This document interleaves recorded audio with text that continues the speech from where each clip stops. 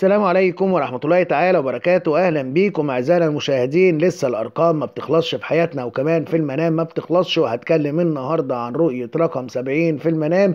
وإيه علاقتها بقى بقرب قدوم أموال للرأي في الواقع. ونقول مع بعض كده أول رؤية في المنام وهي إن أي حد يشوف رؤية في المنام رقم 70 وكان رقم 70 داخل الرؤية كبير وبشكل جيد فإن شاء الله سبحانه وتعالى الرؤية دي دلالة ليه على إن في أموال كتيرة جاية إليه في الطريق. وبالتالي الرؤية دي بتكون من الرؤى المبشرة للإنسان الفقير في الواقع على إنه هيتيسر حاله وكمان الرؤية دي برضه مبشرة للإنسان اللي في الواقع مديون بأنه هيقدر يسدد ديونه أو جزء حتى من دينه في الواقع.